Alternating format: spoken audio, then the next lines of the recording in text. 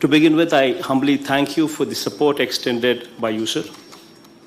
And uh, as far as the state is concerned, sir, from a capacity that, uh, because we've been, we, we, we've actually suffered from a situation, sir, where we have no tertiary care because we've uh, had Hyderabad before the bifurcation and uh, unfortunately post bifurcation we do not have uh, tier one uh, cities like Hyderabad or Bangalore or Chennai, sir.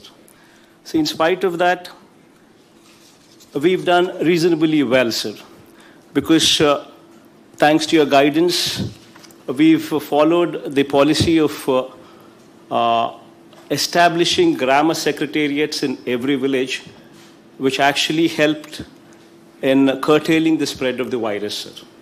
Wherein, uh, I mean, so far we've done 12 fever, 12 house-to-house surveys, sir, wherein people were identified at the initial stages itself, and focused testing only on these people helped us curtail this pandemic to a very large degree, sir.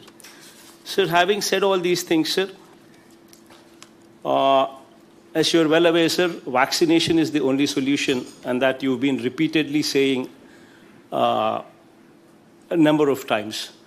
In this background, sir, I'd just like to uh, make a few suggestions there, suggestions here, sir. Sir, and as far as the doses received and administered are concerned, sir, we have received 1 crore 68 lakhs 46,210 doses, sir, and we have administered 1 crore 76 lakh 70,642, sir, beyond what was supplied to us from the savings that we could actually do this, sir. Sir, having said this, sir, one small suggestion is, sir, for the month of July, we have been allotted 53 lakhs 14,740 vaccines, sir. Sir, here I'd just like to make one suggestion, sir, that for the state of Andhra Pradesh, for private hospitals, 17 lakh 71,580 doses have also been earmarked. But in reality, sir, these private hospitals are not fully vaccinating their capacity, sir. In June, if you were to see, sir, uh, when compared to the 17 lakh 71,580 doses that uh, private hospitals were earmarked for the month of July, they could only vaccinate only 4 lakh 20,209 thus far, sir.